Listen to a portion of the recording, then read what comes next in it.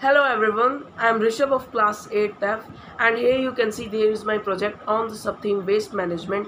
The main purpose of this project is to collect waste materials from our homes like papers, tissue papers etc. So here you can see it's working. So here you can see that I have connected 4 tires to this 9 volt battery this 9 volt battery. And here you can see a vacuum in which there is a drone motor which performs like a vacuum which is connected to this battery. And I have put two switches one for the vacuum and one for uh, the tires. You can see that it's working properly